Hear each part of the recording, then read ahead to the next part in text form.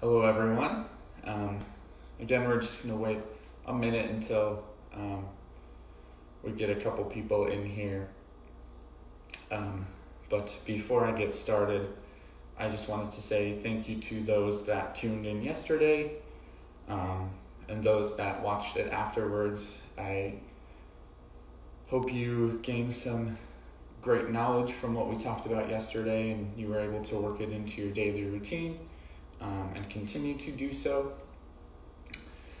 So, um, we're back again today for another tip. We're going to go through an exercise again today, but this time we're going to target the upper body, um, or more specifically, the chest, the triceps, and the shoulders. Um, so, why don't we um, get started with it right away? So, our exercise today is going to be a modified push up. So, um, instead of getting on the ground to do a push up, we are going to um, be working against a wall. Um, I know it's hard for a lot of us to get onto the ground and then to get back up from the ground. Um, so you can get the same effect of a push up if you're working against a wall or even a countertop. And so we'll talk about some of those variations in a minute here, but um, let's get started. I'm going to use the wall behind me. Um, so first, we're going to go with a um, more of the normal or general push-up. Um, so you're going to want your hands a little bit wider than shoulder width apart.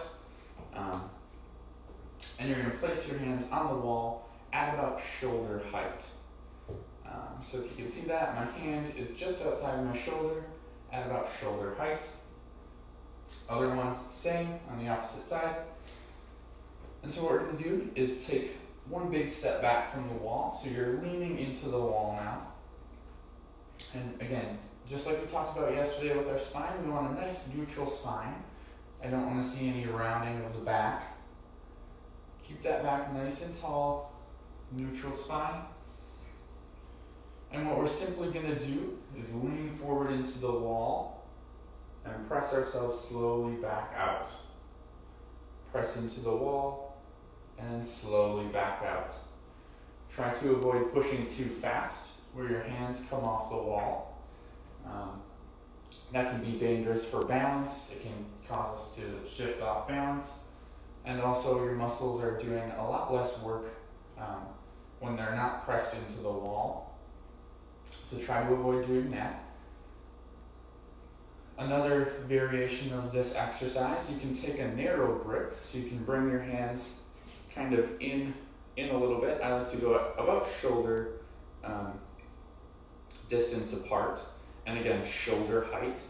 So we take our hands, place them on the door at about shoulder height. This one is going to work more of the tricep and the back of the arm versus um, the other one worked more of the chest and the shoulders. So again, nice narrow grip, shoulder width. Take that step back away from the wall. Feet can be about hip width apart, just a natural, um, normal width apart. Whatever feels comfortable for you. Your feet don't really matter for this one. You can go really wide to give yourself a little bit more of a stable base um, if you need it, but we're going to go about hip width apart for this one. And again, just leaning forward into the wall and pressing back out. Lean forward in, and press back out.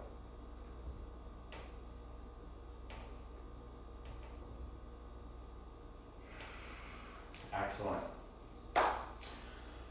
Okay, so I know this one was a quick one today, um, but had a lot less content to cover. So, um, again, working this into your daily routine, like I mentioned, it can be done against a wall. You can lean with your hands on the corner of your countertop or your dining room table and do the same. Um, I would recommend anywhere from 10 to 20 repetitions at a time. So, again, if you're um, in your kitchen doing whatever, just take a minute or so to um, press out 10 to 20 push ups here and there. Keeps the blood flowing in the upper extremities, um, keeps us healthy, gets the mind right, all those good things. Um, I want to thank you all again for watching today. Um, I greatly enjoy having an audience um, live to teach and to pass knowledge on to. As always, be sure to check out our YouTube channel, the Generations YouTube channel, um, for all of our exercise videos. Um, and if you missed um, any of these tips at 10, you can go on there and watch it once again. This will be posted to our Facebook page as well, so it'll be um, on there for for viewing at all times. Um, so again, thank you all for for watching today. Um, stay healthy and stay well. See you tomorrow.